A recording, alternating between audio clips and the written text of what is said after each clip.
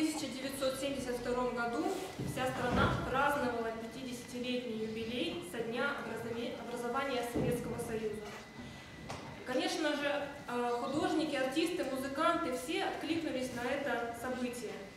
Так украинский композитор Константин Мисков написал 15 танцев по числу республик